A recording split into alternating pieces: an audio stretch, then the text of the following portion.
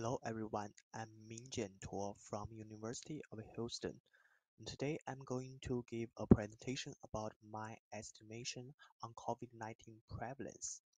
And the dataset I use in my study is from Taiwan. As we all know, COVID-19 has transformed from epidemic to pandemic, and the total confirmed global cases has passed 1.8 million and the total deaths has passed 100,000. But there are good news because the total recovered cases has passed 400,000. I chose Taiwan as my study case for two main reasons. First, Taiwan got influenced by COVID-19 earlier than other areas in the world. The second is many news media reports that Taiwan has contained COVID-19 successfully. By April 8th, the total confirmed cases in Taiwan is only 380 and the total deaths is only 6. And most of the confirmed cases are imported cases. The data I used in my research is from the website of Taiwan Centers of Disease Control and the first diagram shows the daily tested cases, and the second diagram shows the number of daily confirmed cases. The simplified SIRS model is used in this study, and the first equation shows the expectation of total infected cases during the maximal incubation period, and the second equation is the estimation of effective infection number using maximum likelihood. In our point process model, we need to define the number of daily infected cases.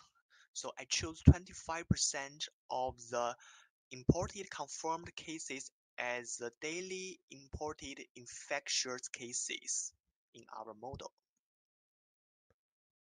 So this figure shows the number of daily tested cases and the first case was confirmed on January 21st. So I chose January 7th as the start point of the recorded day. And here is a comparison between the prediction of our models and the true values.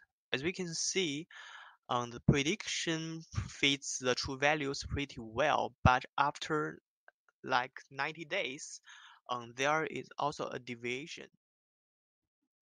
And in the next step, we extend our model with a new data point added. And as we can see, the prediction fits the true value pretty well. When the true value decreases, there is also a drop in the prediction. And there are some conclusions from this study. First is our model fits the true values pretty well. And the second is that COVID-19 is contained in Taiwan. And the third is that wearing a mask can really protect you from COVID-19. Recently, some researchers have compared N95 medical and homemade masks in their study, and the, the result shows that even for homemade mask, it can block 95% of the virus. And there are some more discussions. Um, the death rate and recovery rate were not considered in our model, and the imported cases may not accurate and the fourth is that herd immunity can be a factor influence the prediction.